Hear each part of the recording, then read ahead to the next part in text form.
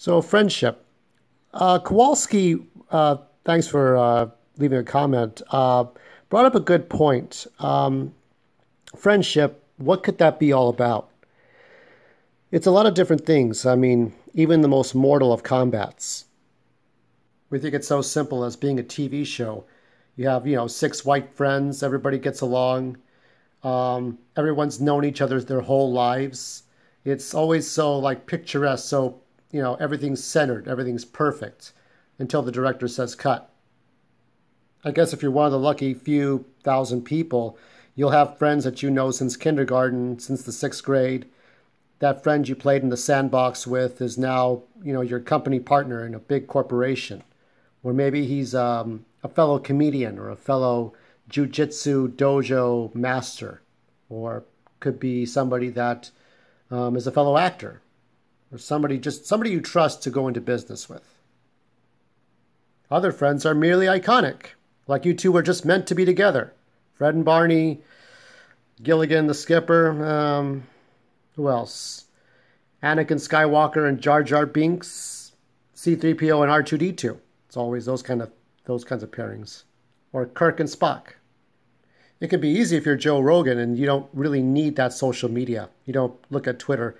I don't look at Twitter that much either anymore. But if you're somebody like Joe Rogan, you can put you know you can put your family first, your fellow comedians first, your fellow uh, any fellow actors or uh, martial artists or people you talk to, people you know, all the friends you know along the way, the best type of pizza. But if you're not Joe Rogan, if you're not a famous person, if you didn't get somewhere in life by you know um, by hard work, or even if you did get by with hard work and you got cheated in life, you tend to be the incel like this guy who shot people, killed people, killed himself. You tend to be that uh, sort of um, that um, violent martyr. You know, you're you're willing to be violent, but then you'll take your own life to prove some sort of point, like everyone else, and that's harsh. So, but let's say you're not as harmful as this person, then what are your choices? How do you make friends? If you go through the levels of communication, this is the worst way to communicate with somebody especially if like like there was a girl I was talking to, and she was actually I've never met a hijab woman. A hijab, of course, is that uh, sort of towel that a woman wraps around her head uh, as part of like a like you know what is it like I don't know I want to say Shiites, um, Middle Eastern, Pakistan, Iran. She was from Iran, but Iran, Iraq, where women are owned by their husbands. That's the way I always saw it. And I finally met one online but we know she didn't speak English and I couldn't speak Farsi or Persian. And so I had to use emojis or Google Translate. And that's, I mean, Google Translate's like, there's errors for that. Because if you don't know how to speak the language, it's fucked. So you use emojis. You try to communicate that way to hope to get to her, her, her attention or somebody you want to know. The second, I mean, a better way would be to tweet. However, when you tweet, you only have so many characters to write if you want to be a dumbass like the president or not or you want to be, you know, you want to be very, very um, well spoken, good dialect. You try to write as eloquently as you possibly can using little to no contractions, big words, maybe some French and some Italian to be fancy. But ultimately, it's hard to communicate this way. How do you really do that, right? The only step up might be an Instagram, you know, picture with captions, video, or TikTok. But TikTok might be a little bit worse in that you would have less time for writing and more time for uh, twerking and doing some weird shit that like early 2006 type YouTube videos. I mean, the only thing more sincere, more genuine might be a handwritten letter. You can say all anything you want to say. There's no limit of characters, but it's hard to look. You can't see the person. It's easy to write what you want without looking at that person in the eye, uh, without having to uh, be there in their presence, smell their bo, or their or their deodorant or to know that their what their voice is like and just writing writing writing and not looking at that person. It's easy to write just like it's easy to leave trolling comments on youtube. The other option would be to talk on the phone which i miss doing by the way. I don't miss rotary phones. I remember playing with a rotary phone when i was like maybe six seven eight years old. I had a fisher price rotary phone pain in the ass but it's got to be better than writing a letter because you can actually talk to that person now there's always Skype for business, but most people could talk. You can do visual video phone chat. I mean, I remember video phones as early as the 80s, and they had very grainy, blocky, like like how many frames per second you know the person would talk on the phone. So you know, there's Skype. There's looking at that person. There's looking at that person in the eye. Of course, we can't forget Zoom. There's supposed to be a better Skype to get people together. I guess the idea, ideal of ideals, of ideas, is to get you know people in that same place together, to bring everyone together, however fake. I mean, ultimately, it's better to have people come in person. A real community of people just being around each other would be the best thing instead of just internet, Skype, or writing letters. Ah, but right, the social distancing, isn't it? God damn it. And you gotta wear your fucking masks. But I think what really matters when you're making a friend is the filling in the blanks of establishing that friendship with the short or the long answer. And it's very easy to figure this out. I think what it boils down to is if somebody doesn't like you, doesn't matter if they're online or offline, somebody you've known for two years, 20 years, or 20 minutes, if they give you very short answers or it's the way they answer you, then they're trying to be polite, but they'd rather not be around you. And I've said this before, but Kowalski kind of triggered something within me to really say this. Um, and it's the same thing with females. Um, I I have a postal. I go to a post office where I have my private mailbox, and in this private mailbox, um, there are pretty girls that work the counters. It's like why go to Hooters when Hooters can come to you? And I have yet to meet a pretty girl that would actually want to really talk to me, but there are many that will just be polite. Well, they have to be polite. Um, I know one guy on uh, one of the people I follow, always posting, never taking a break. Um, he's always talking about how the girls are sweet or nice to him. I said they're supposed to be nice to you because that's their job. As soon as the clock is over, when that when that when that big hand hits five, they could be cunts all they want. They don't have to talk to you. It's when they talk to you off duty, off site, that that's when you know what's up. But um, you know, what is the true price of a friendship? What is friendship all about? Um, I really do think it's it's how they answer you, and if they can talk to you. Now, as I told Kowalski, and I'm telling you, Bag of Sands, remember, treat people the way you want to be treated. It's always important. Um,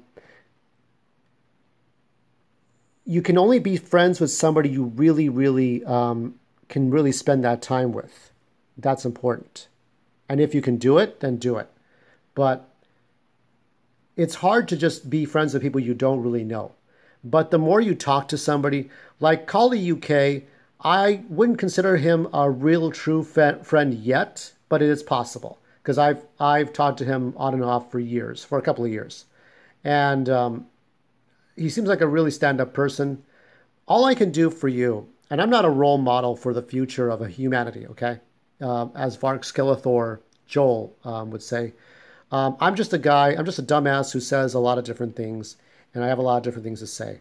Um, but I can be your, your digital friend, your online friend, and anytime anybody, whether it's Kowalski, Bag of Sands, um, any, anybody, anyone, Martel the Cool, um, Dreamcast 84, uh, all kinds of people. I mean, just anybody who wants to know anything, you you can ask me.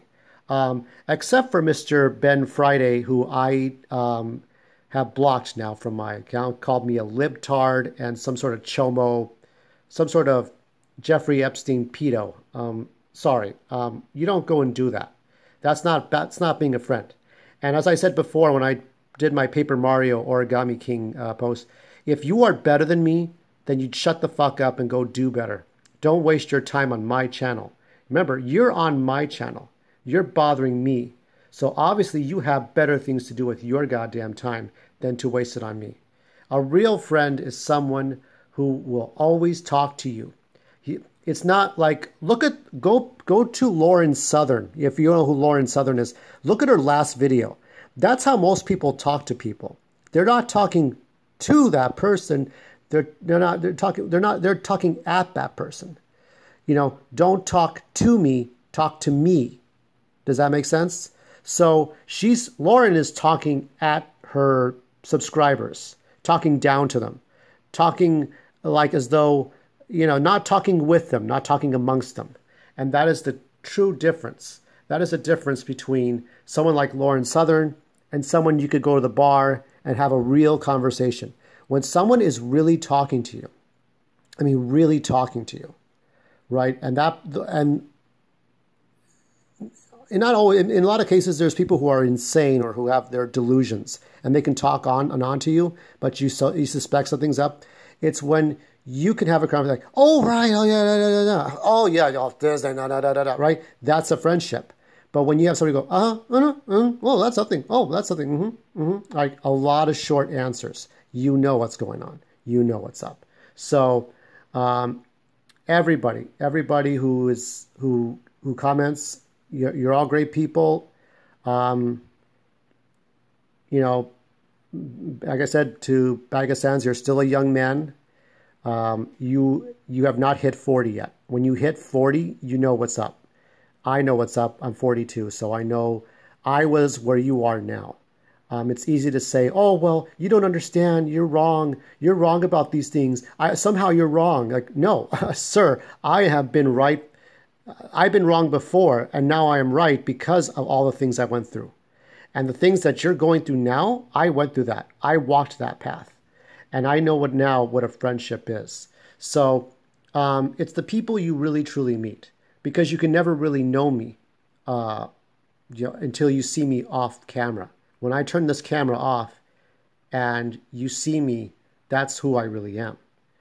And um, like I said, this is just how it is. So, for all of you who are curious, um, this is what a true friendship is about. Everybody keep this in mind. Everyone. Until then, um, thanks to everyone tuning in. Thanks for tuning in. I will do more posts later on this week. Um, more Metal Men, more Paper Mario, and something contribute to my brother. Until then, don't do anything I wouldn't do.